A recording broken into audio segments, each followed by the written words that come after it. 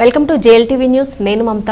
శ్రీకాకుళం జిల్లా మందసలో శ్రీ పవనపుత్ర సేవా సంస్థ ఆధ్వర్యంలో రెవెన్యూ పోలీస్ పంచాయతీరాజ్ శాఖల సహకారంతో నిర్వహించిన రక్తదాన శిబిరానికి విశేష స్పందన లభించింది. ఈ శిబిరానికి ఉత్సాహంతో వచ్చిన దాతలు రక్తదానం చేశారు. మొత్తం నలభై మూడు యూనిట్ల రక్తాన్ని సేకరించారు.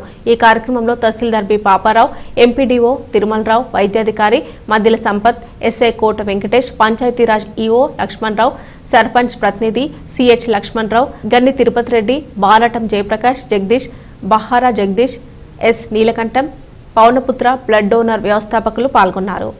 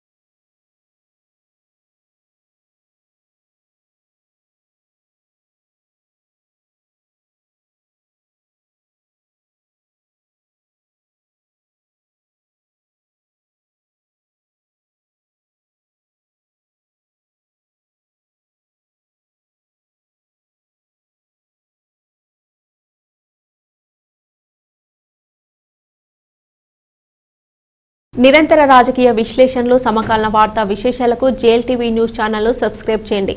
పక్కనే ఉన్న గంట సింబల్ను క్లిక్ చేయండి.